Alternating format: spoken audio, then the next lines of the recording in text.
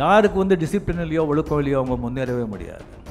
அது வந்து ஒரு ஒரு ஸ்டூடெண்ட் ஆகட்டும் ஒரு எம்ப்ளாய் ஆகட்டும் யாருமே ஆகட்டும். The first quality is discipline second quality is honesty நாணயம். இந்த ஹானெஸ்டி இருந்தால் போய் பித்தலாட்டம் இந்த திருத்தனம் அதெல்லாம் அவங்கக்கிட்ட இருக்காது.